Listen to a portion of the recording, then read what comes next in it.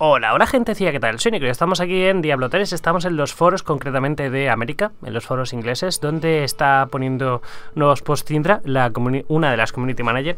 Recordad que Nevalistis o Brandy Camel ha dejado la compañía y ahora pues quien está haciendo los posts es una tal Sindra. No sé si es una community manager de otro videojuego que simplemente ha ocupado el cargo de momento o si ya es oficialmente la sustituta de Nevalistis. Esto, si está comunicado, a mí no ha llegado. Bueno, en cualquier caso lo que quiero traeros hoy es que dos temporadas en una. No sé si recordáis cuando quisieron incorporar el tema de las temporadas temáticas al juego.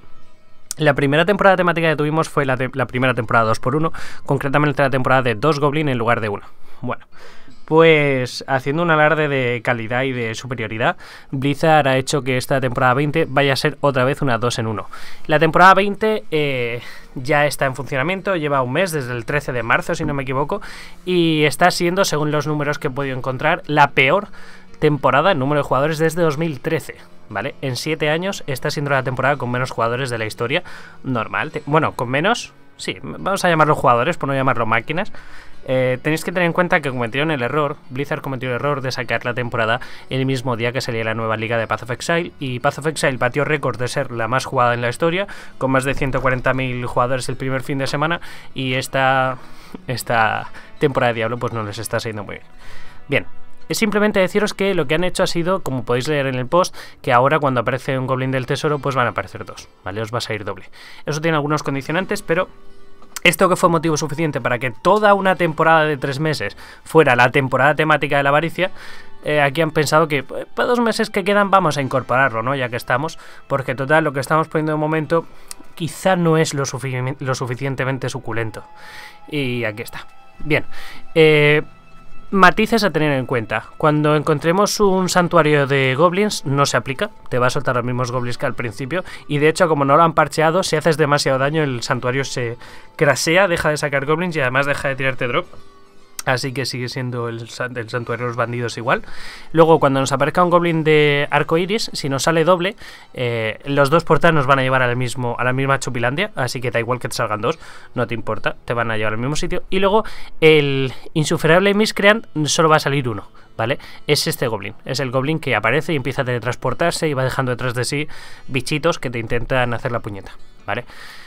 Y ya está, nada más. Entonces simplemente cuando vayáis a encontraros un goblin, pues en vez de uno aparecerán dos. Está bien, está mal, eso ya que lo valore cada uno. Yo pienso que esto molaría, personalmente creo que estaría bastante guay si lo que hicieran fuera coger diferentes bonus que han puesto en diferentes eh, temporadas y los pusieran semana a semana o mes a mes, casi mejor semana a semana. Como por ejemplo coger en coger ahora y ponernos aparte de esto eh, que la semana que viene tuviéramos doble recompensa de alijos o que la siguiente semana tuviéramos doble experiencia durante una semana o etcétera vale si hubiera si fueran a hacer algún tipo de rotación estaría guay. Personalmente no entiendo por qué han hecho este cambio por qué han decidido ahora meter doble goblin. No sé exactamente qué esperan conseguir de esto pero bueno.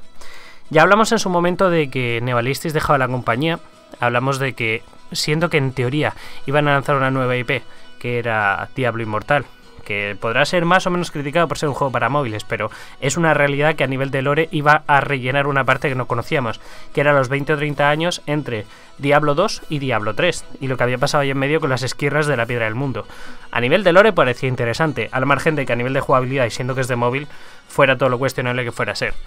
Que justo antes de sacar esa IP, que en teoría salía en verano de 2020, Nevalistis deje la compañía y que justo cuando se está desarrollando Diablo Inmortal, eh, perdón, Diablo 4, lo mismo, es muy raro.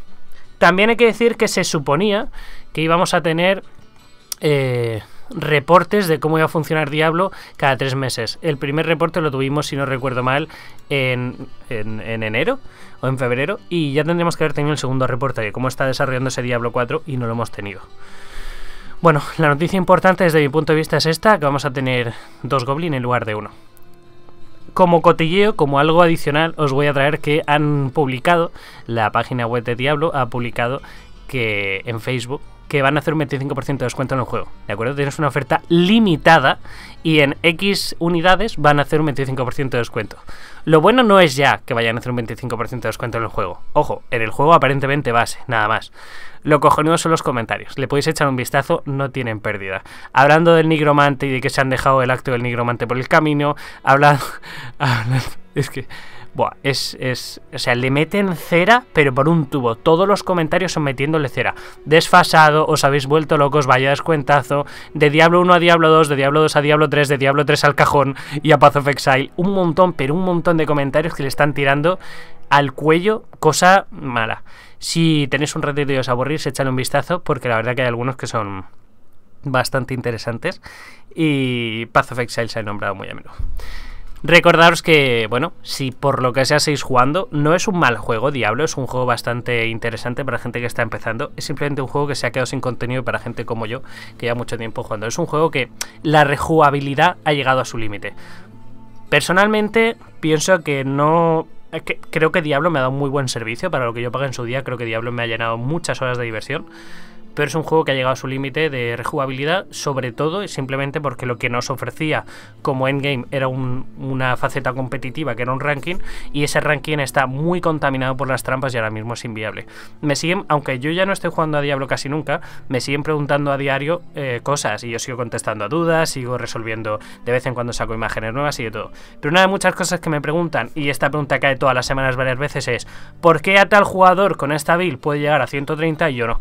Y la respuesta siempre es la misma, porque tiene ejecutándose en segundo plano determinados programas que hacen que el combo se lance a la perfección, aunque un humano no lo pueda hacer, él sí puede.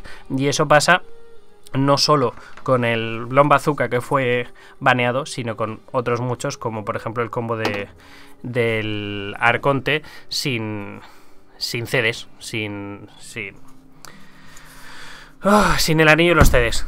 Entonces, claro, gente, tened en cuenta que si copiéis a alguien del ranking o jugáis en sus mismas condiciones, es decir, con su Paragon, con su phishing, que es súper importante, que no os podéis meter en cualquier falla, tenéis que ir buscando determinado eh, mapa, determinado número de pilones y demás, o no podéis copiar a esa gente, ¿vale? Dicho eso, tenéis dos temporadas en una, eh, me parece una noticia increíble, es, es acojonante cómo Blizzard puede hacer un derroche de recursos tan alto como para que toda una temática de temporada nos la metan aquí con, con otra más, o sea, dos por uno, ¡dos por uno! Y si sois nuevos, si queréis compraros el juego, es un muy buen momento para que no lo hagáis con Diablo. bueno, os, os aprecio, gente. Un abrazo. Nos vemos.